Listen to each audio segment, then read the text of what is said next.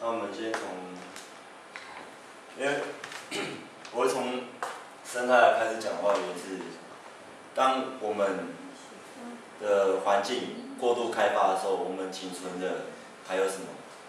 我们的人行道树或者是说没有被破坏过的古迹里面所留下来的树木或者是生态其实它是非非常富有的。可是当政府我们要开发的时候，当政府他们要开发的时候，他们却是用另外一种思维，是他觉得这不需要，不重要，所以要去破坏它，而对我们市民来讲的话，它是一种我们的记忆，或者是长辈的记忆，或者是还有人们历史的记忆，可是这些记忆并不完全是政府，他们可以用他们所谓的开发。而，去把它铲除掉，或者是去把它整个一体。但是当我们绿地开始消失的时候，我们生态环境就会慢慢的减少，那我们的都市就会越来越热。当我们越来越热的时候，我们才会发现说树不见。那当我们发现树不见的时候，就会发现说我们的环境是多么的恶劣。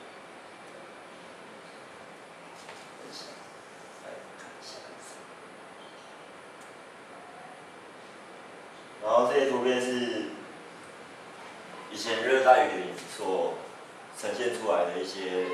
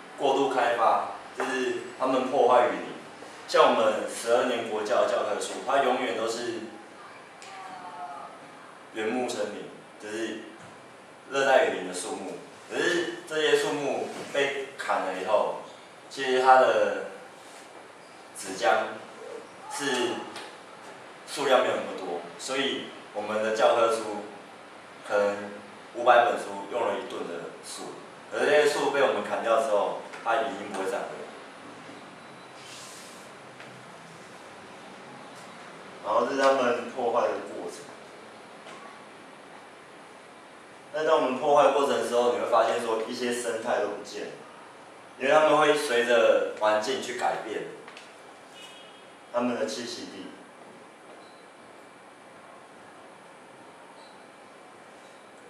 然后这就是热带雨林他们所原本的物种，可是当雨林不见的时候，它是其实会随着环境跟区域性去慢慢的迁移。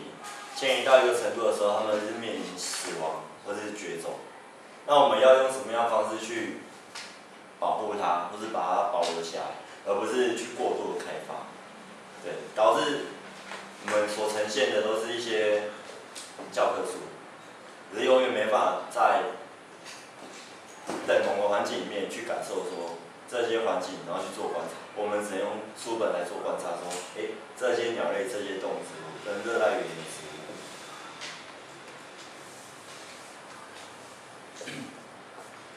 然后这一张是我们过度开发的城市，像六年前美国做研究发现说，台湾台湾海岛它是一个快速沙漠型的国家，为什么？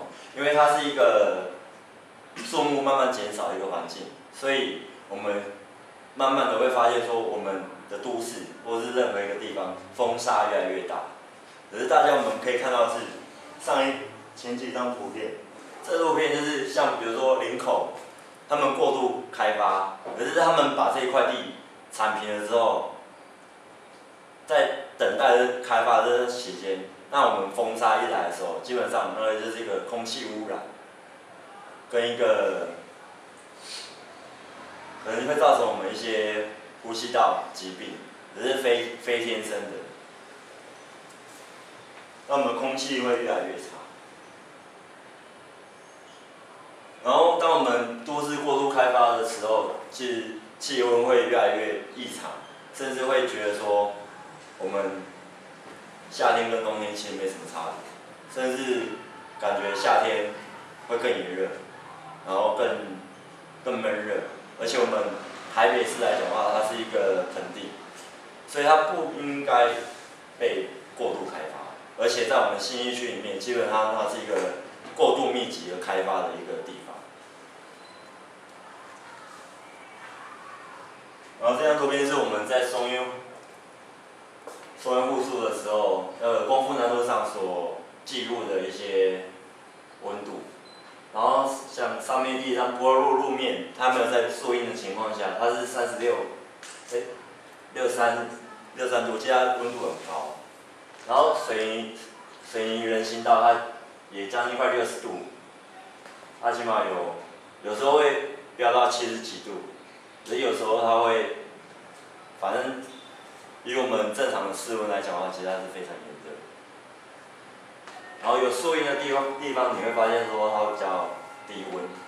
而这一张的话是没有树荫的草皮，它是呈现四十二度。可是如果有草皮、有树荫的地方，其实它是一个温度比较适合我们人的一个环境跟温度。可是当我们政府他们今天一一的把这这些树铲除的时候，其实我们走在这街道上，我们是非常炎热，而且是非常闷，而且风沙又很大。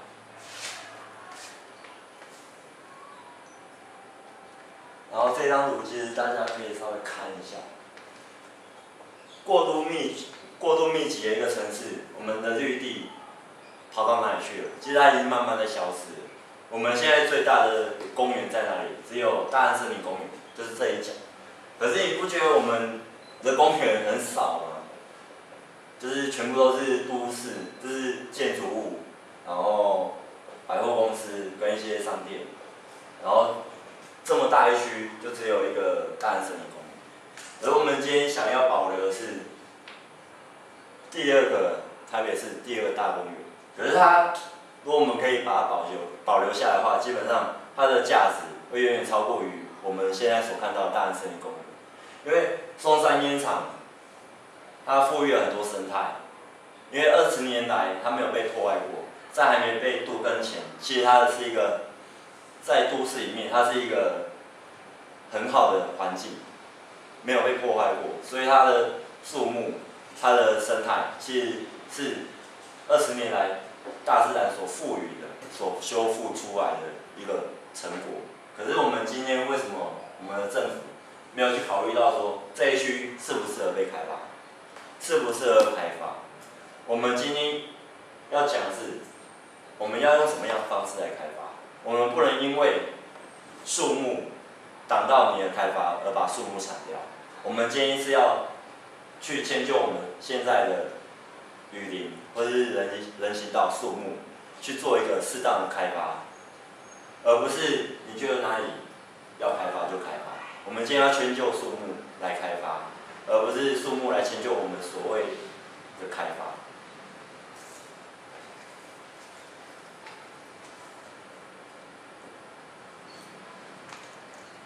这一张也是。我们现在台北市的负地率其实它很低，全台来讲的话，负每一个城市、每一个都市负地率要起码十八，可是我们台北市的负地率只有四点一八，可是这四点一八只。还包含着阳明山。如果我们今天把阳明山拿掉的话，基本上我们台北市整个负电率只有一点一。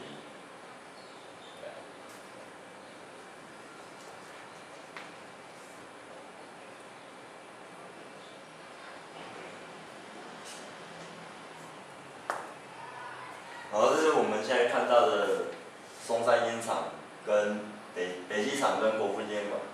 它以它这样来算的话，其实它。包含了很多人文历史、古迹跟我们长辈的记忆，还有二十年来所富裕的生态。它仅，如果它我们今天有办法把它变成公园的时候，基本上会比大安森林更有意义。因为今天大安森林也是能做出来，可是今天松烟不是，今天松烟是大自然创大自然创造出来，它的所富裕的生态是大自然没。呃，我们人没有办法去复制的，而且要花了二十年的时间去修复它，去创造它。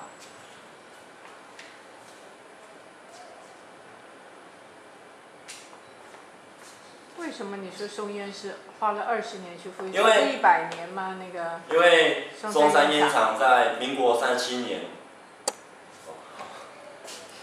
因为松山烟厂在民国三七年三月的时候，他们在。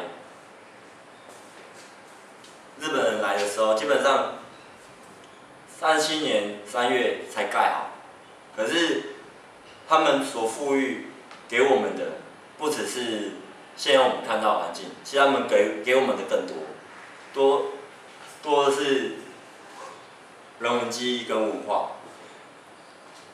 那我们今天日本人走了，这一块地他们放置了二十年的时间。这个就是大自然在富裕这块地皮的时间，它所创造出来的基本上不是我们可以想象的，里面有很多水生植物跟动植物，是我们没有办法去想象的。我们今天不能要为了一个公园，然后去买野生动物来这边放，不行。可是这块地它是自然生成的，因为这块地。有树有林有水，那我们的生态就会慢慢的聚集在一个在这个地方去迁徙。我们再看，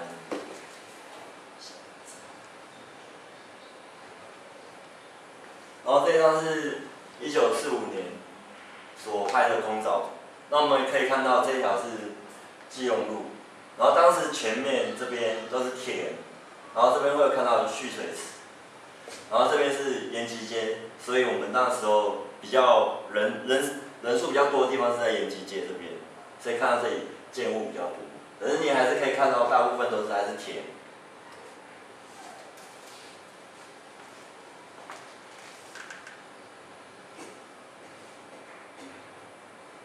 然后这是松山烟厂他们台湾总督府，这是日据时代的时候他们所建设的。可是我我想要讲的是，松山烟厂它不是第一烟厂，我们以前的第一烟厂是在我们现在所看到的金站，因为那时候因为鸦片的关系，他们禁止鸦鸦片贩卖，所以我们今天的烟那时候烟的烟产量才会增加。可是那一块地太小。所以他们迁址迁到这个松山烟厂这边，所以他们盖了呃松山烟厂。然后我们可以看到那时候基本上树都还是小，其实他们还没有那么大。以台北市政府他们在估算这些树年龄的时候，他们说不到五十岁。可是以这套以这张图来讲的话，基本上这些树基本上超过六十岁，因为他们今天用一个很随便甚至很简陋的方式去检测这些棵树，它到底有没有五十岁，甚至他们会觉得说，我们今天树保法是说不到五十岁的树不受保护，可是我今天很疑惑的是，如果今天有一棵树它四十九岁，在三个月它就五十岁，你还要保吗？它照样不保。那就是说不到五十岁就不保，所以他们觉得说，只要是规范的东西，就是一定要做，不受不受规范的，他们就觉得无所谓。可是我觉得说，我们今天所讲求的是，我们要给我们下一代很好的环境。今天不管是大树小树，十年、二十年、五十年的树，都一样要被受保护。因为我们今天如果没有保护这些年轻的树，我们哪来的五十岁的树？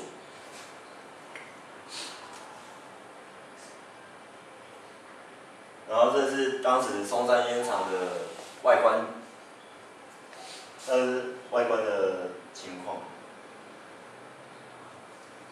然后这一张图是松山烟厂，那当时他们所制烟的一些产线跟盛况。其实大家可以看到，其实它是一个很有规划性的一个产线，它不并不是像我们现在所看到的，就是跳，就是。一个产线会有任何的误差，而而它是从你原物料进来到你生产完出去，它都一体成型出去到我们所我们现在手上看到的烟。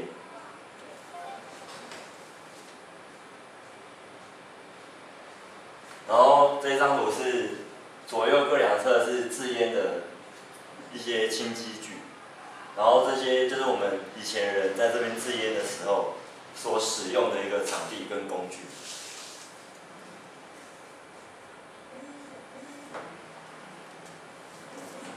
然后下上面这张图是台北机场，就是我们现在面临杜根的那个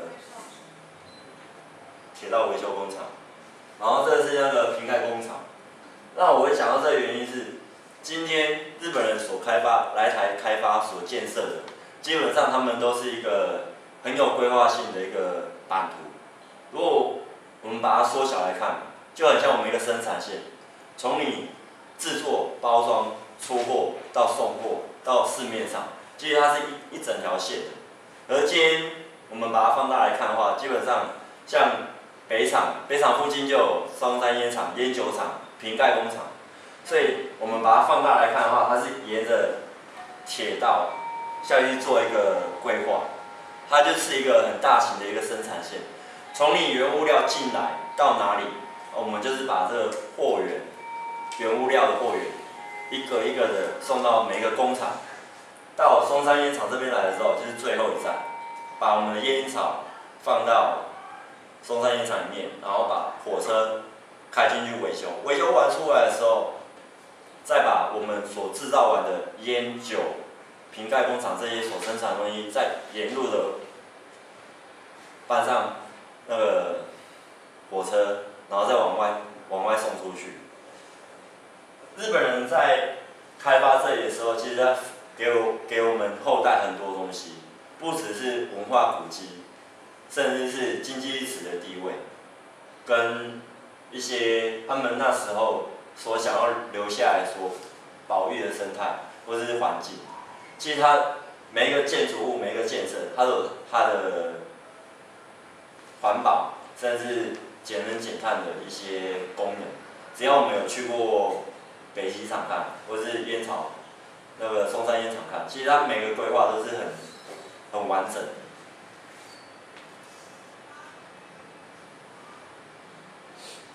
然后这是松山烟厂的空照这这三个地方它是蓄水池，因为我们在这样看的时候，基本上松山烟厂感觉没什么，可是为什么它会用的那么多的蓄水池？因为在制烟的过程中，它是需要干燥的，那很容易引起火灾，所以他们挖了这个蓄水池是拿来防灾用。可是我们可以发现说，今天这块地现在含水量很高，它并不适合这么多的建建筑物或者是庞大的建物盖在上面，因为它今天会影响到我们整个地基跟土土壤的一些破坏。如果今天说今天它含水量很高，今天如果一个地震，如果一个地震或是一个可能像高雄的气爆，如果是这样子的话，基本上它是有个塌陷，因为它今天含水量很高，而且它一直在抽它的水，地下水。那我们可以很明显看到，只要抽地下水，那我们的地基就会地地层下陷，所以它并不适合盖在这里。所以当初。大巨蛋他们在选址的时候，基本上他们就已经选错地方了。然后是我们还没被开发的时候，他们所拍下的那个烟厂里面的照片。其实我们可以看到里面基本上很多树木。然后这些树木基本上在那时候就是刚看到那一张图片旧图里面，那时候就种，可是他们现在已经长那么高了。可是今天政府说这些树。不到五十岁，只是很很好奇的是，为什么他们会有这种思维？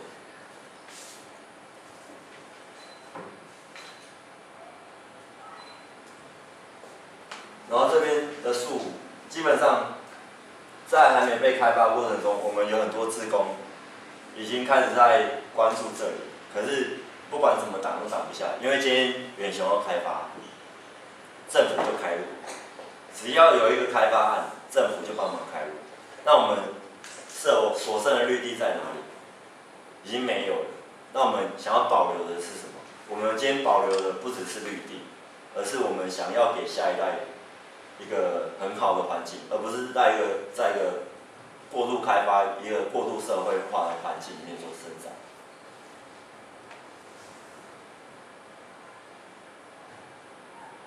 然后是国父纪念馆那一侧。呃，树木，然后这边以前是那个篮球场，可是更早以前，韩国大使馆在这里，在在上面这边，可是现在慢慢不见，已经开始被拆。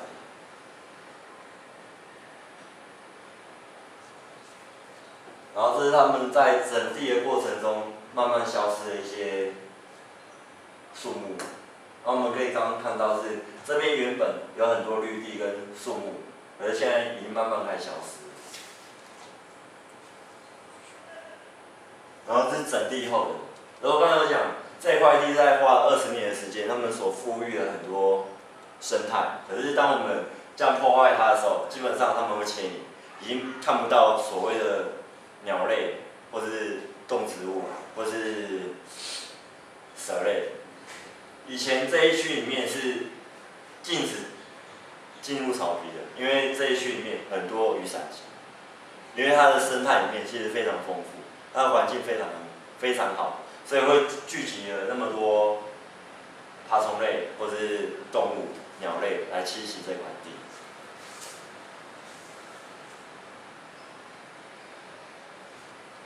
然后这是整地过后所呈现的一个荒芜，对，这是。准备要被盖大巨蛋的一个面积。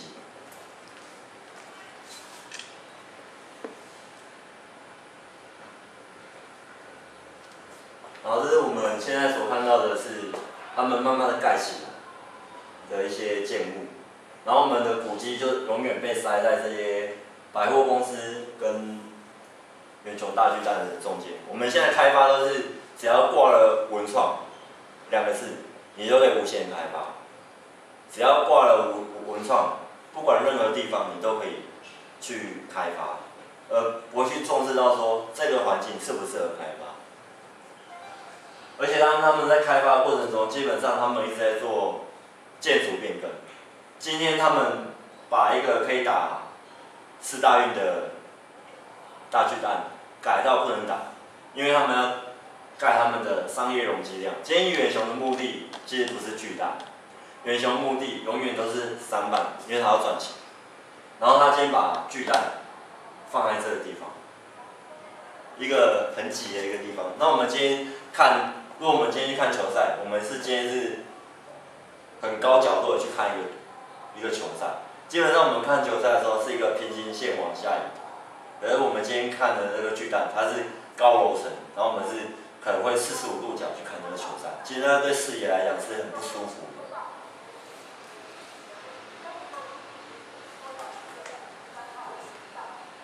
然后我们原本的地，我们还可以看到远观。可是，如果当它盖起来的时候，基本上可能连国父纪国父纪念馆都看不到，然后可能连这边都看不到，甚至我们要要真的走到松山烟厂里面，我们才看得到古迹。我们没有办法从外观外围看看到松山烟厂，除非你今天在一零一，可能也看不到，因为它整个被挡住。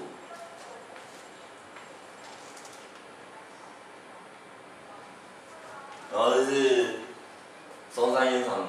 远雄大巨蛋的一个外观结构，可是他们今天在做这个设计的时候，他们没有做良好的规划，他们把它塞满了，塞满了以后没有路，没有路的时候，他就想到把路拓宽，或是把这这些树全部拿掉，然后去做他的人行道，或是把道路拓宽。可是今天他把道路拓宽的时候，我们学校我们旁边有。光复国小，那我们小朋友的行路安全放哪里？今天他把所有路都塞进去，其实它会造成交通危险。今天不是只有开车的人危险，他们永远只是说要给行车人一个安全的路回家。只要挂上“安全”两个字，任何路都可以开。那我今天很好奇的会质疑说，那我们的行行路安全在哪里？你完全没有受考量到我们旁边有。光复国小，这些小朋友他们走这条路的时候会多危险，而且你们把路拓这么宽。请问一下，当时做这个规划的时候，没有这个模型吗？有。有的话，怎么会当时没有发现现在你说的问题呢？呃，因为他们在做变更的时候，基本上他不会公开。他是到后面有雏形的时候，他才公开。所以当大巨蛋就一他们在设计前面的大巨蛋的时候，跟我们现在看到大巨蛋是不一样的。那这样他合法吗？他他他给你看的。嗯。他给你看的。呃，今天合法，当然他是不合法。可是今天如果他硬要做，只要政府同意，元雄想要的，或是任何建设想要的。政府永远都会。不，我的意思是说，环评的时候你拿出来的是一个版本，你你你刚刚讲的是这个意思吗？对。环评的时候是一个版本，因为那时候。对。没有提到这这么这么这么大嘛，对不对？对，没有这么大，就是不应该是长这样子。对，我的意思就是这样。对。我们环评的时候不是这个样子，那现在弄成这个样子，那那那那我们环评做假的吗？他环评先过。如果他今天硬要盖这样盖的话，他可以环评先过，环评过了之后，他在盖的过程中，他可以慢慢改，然后改的过程中也是市府去同意他的，所以今天不管是哪个机关，基本上只要财团想要的，他们都可以无限的为你开这个门，无限为你开这条路。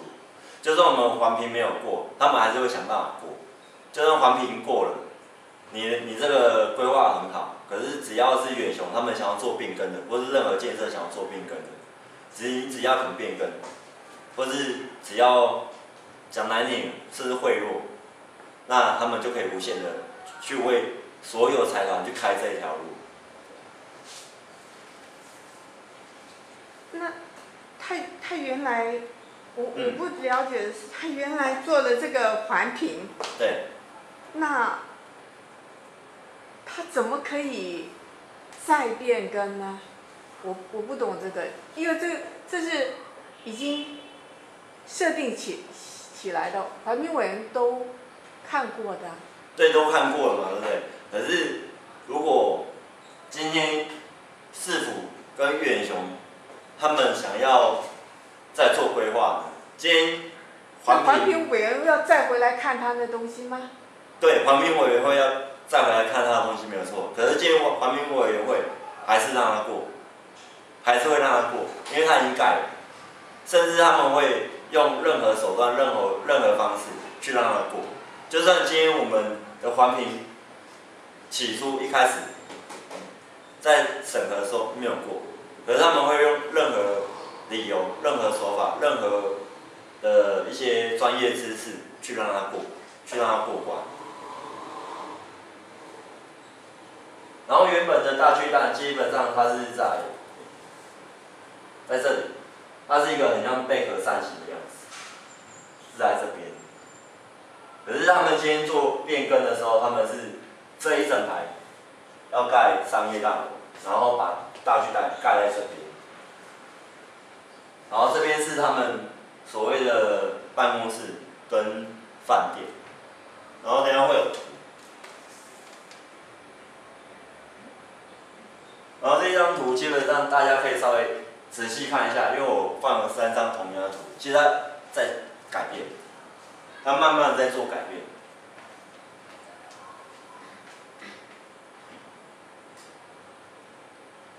那第一张图的话是还没被都跟前的一个空照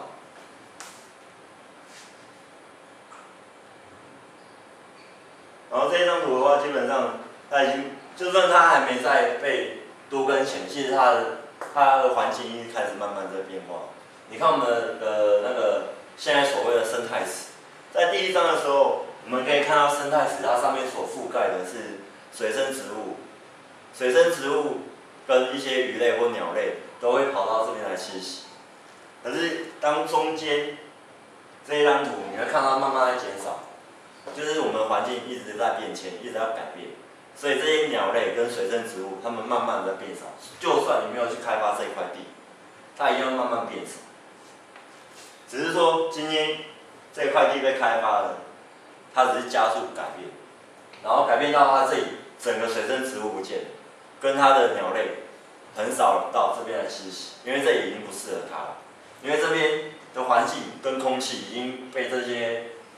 所覆盖呃浮现出来的水泥啊，或是一些沙尘所受影响。那对于生物来讲，动物来讲，其实非常不好，所以他们会改变他们所栖息的地方。